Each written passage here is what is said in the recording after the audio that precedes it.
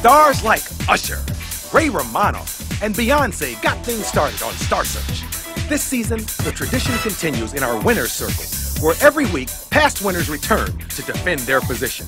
Their goal? To be in the winner's circle for our season finale next week, where $100,000 will be on the line in each category. Junior singer, Mark Mejia. Young dancer, John Cruz. And adult singer, Freedom Bremner, have already earned a guaranteed spot in the finals, so they cannot be challenged. But the others are vulnerable because tonight, two new performers in each category will compete for the chance to challenge someone in the winner's circle and try to take their place. I choose you, David. We challenge you, Candace and Brandon. I choose you, Vicky Natali. Last week, the winner's circle got shaken up in a big way as junior singer David Archuleta was defeated by Kevin Francis. Give it up for Kevin! And I did it, and I got it. I got it. I'm gonna miss everyone in the winner circle because they're so much fun to be around. Young dancers Stacy and Joseph were nearly perfect as they knocked out Candace and Brandon. We're gonna miss everything about this so much.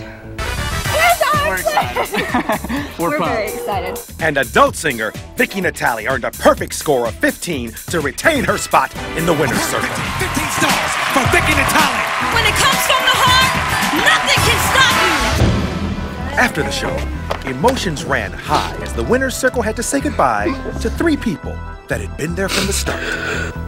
It's hard because like you just like make new friends and and everybody was caught off guard and, and yeah it was really really painful The winner's circle is broken.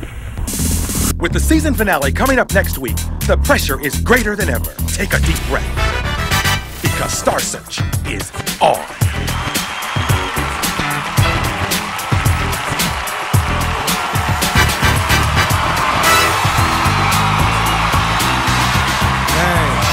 Winners. Yes, indeed. Hello, how are you? The judge and jury. Hello, I'm Arsenio Hall. The thinking man's moron. and welcome to Star Search. Have a seat and enjoy yourself. Thank you very much.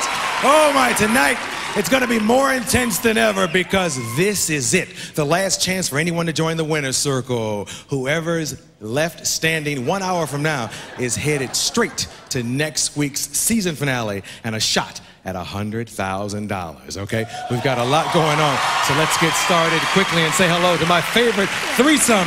Those are the Star Search judges, starting off with six-time Grammy winner. That's Naomi. Jill. Hey, baby. Oh.